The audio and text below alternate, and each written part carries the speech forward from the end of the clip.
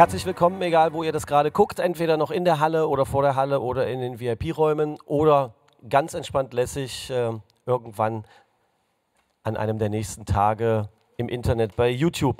Äh, das ist die Pressekonferenz nach dem Handball-Bundesligaspiel SC Magdeburg gegen Frisch auf Göppingen. Halbzeitstand 16 zu 11, Endstand 31 zu 24. Nahezu 6600 Zuschauer haben dieses Match gesehen.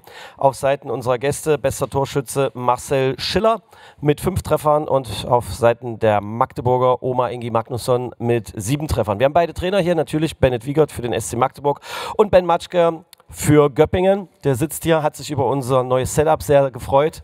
Ähm, dein äh, Statement zum Spiel?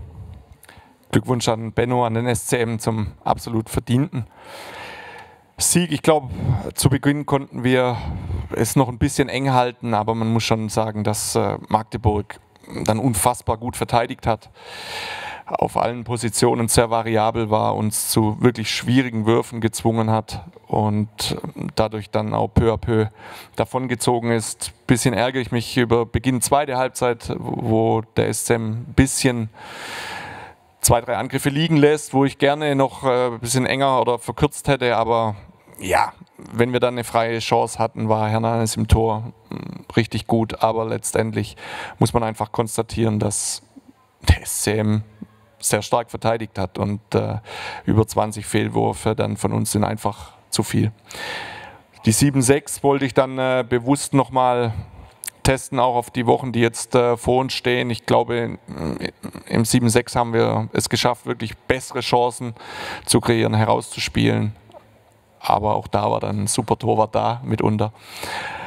Deshalb, äh, ich wünsche euch wirklich für dieses Hammerprogramm Donnerstag, Samstag, Samstag glaube ich, äh, äh, das Beste und äh, bleibt gesund und die, die angeschlagen sind, dass die schnellstmöglich zurückkommen. Benno, ich glaube, du weißt, äh, die letzten Jahre habe ich dir viel Glückwünsche SMS äh, geschickt während der Saison, zum Ende der Saison. Ich habe nichts dagegen, das weiterhin zu tun zieht es durch und äh, das ist ein toller Weg, den ihr geht und äh, nur das Beste für euch. Danke euch. Ich möchte mal fast sagen, klassischer Ben Matschke, äh, so sympathisch, dass man ihn einpacken und mit nach Hause nehmen möchte. Benno, ähm, was entgegnest du und äh, was ergänzt du dann vielleicht auch zu, zu dieser Einschätzung? Ja, guten Abend erstmal. Es ist schwierig, natürlich die richtigen Worte zu finden. Ich weiß, dass Ben auch anders sein kann. Aber das müssen wir als Trainer. Aber ich genieße das natürlich, hm, das von Ihnen zu hören, weil ich natürlich weiß auch, welch Handballfachmann er ist.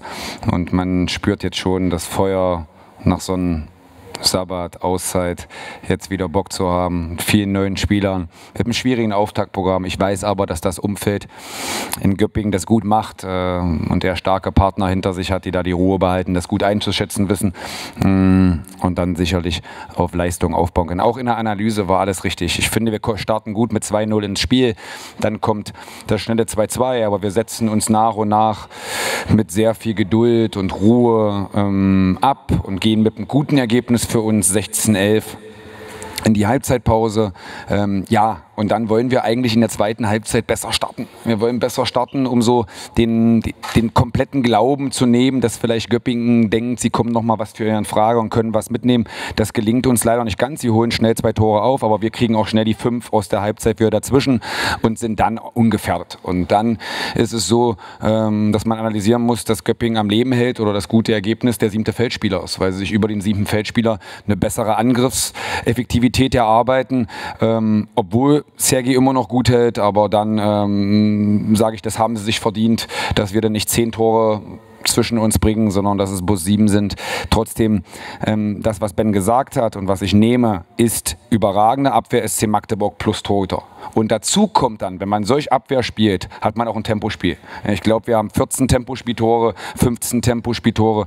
Ähm, ja, und das hilft natürlich, einfache Tore zu erzielen. Und dann glaube ich, dann können wir im Angriff auch besser spielen als heute. Aber wir kriegen es über die Runden, auch souverän über die Runden, weil wir gut verteidigen, sehr gut verteidigen, sehr kompakt verteidigen. Tolle Torhüterleistung, plus Tempospiel, habe ich mich wiederholt ähm, und freue mich jetzt auf die, die nächsten Spiele. Ähm, und das ist ja das, was wir jetzt brauchen. Wir brauchen schnelle Regenerationszeiten, schnellere als normal viel Schlaf, viel Power und dann auch vielleicht am Donnerstag gleiche Kulisse, plus mehr, plus X, ähm, um über uns hinaus wachsen zu können gegen Kielce. Das heißt, äh, du bist rundum zufrieden? Ja, ich bin rundum zufrieden und kann ganz gut einschlafen heute. Okay, kann ich Ihnen das glauben, Ben? Schwer wahrscheinlich, aber ich glaube, sein Fokus lag schon in der, in der Analyse, hey, lasst uns eine richtig gute Abwehr stellen, eine, eine bewegliche und ja, auch wie sie uns dann in Räume zwingen, die uns wehtun. Und äh, natürlich auf den kurzfristigen Ausfall dann von Josip Saratz, der vielleicht nochmal dieses äh, andere Momentum uns hätte geben können waren wir dann zu eingefahren in, in der Struktur. Und äh, deshalb ist da der Plan voll aufgegangen. Gut, ich kann euch sagen, es ist äh, ganz schön warm zwischen den beiden Handballfachleuten hier. Das ist so ein leises Knistern, das man hoffentlich auch so ein bisschen spürt, wenn man hier einfach zuguckt. Die Frage an die Journalistinnen, äh, die vielleicht da sind, äh, ob noch Fragen hier im Raum sind. Alle schütteln den Kopf.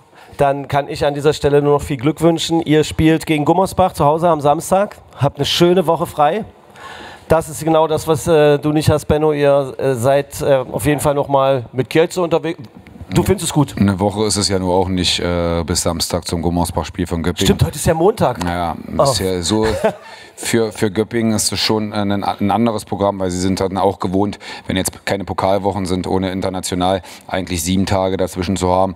Und das ist dann schon enger getaktet, auch mit dem Kader. Also Ben hat das wieder ein bisschen schmal geredet, aber einen Ausfall von Josep Sarac äh, von Göppingen das bedeutet schon was. Okay, also ähm, und da kann man muss hoffen, dass er schnell zurückkommt. Aber ich finde auch im Rahmen der Möglichkeiten, wie sie es hier gemacht haben, ähm, hat man es große Zeiten fast gar nicht gemerkt, auch wenn dieser Spieler eine außergewöhnliche Wichtigkeit ähm, für sie, ja, vielleicht sogar, nee, das will jetzt Ben nicht hören, das sage ich nicht, deswegen Schluss.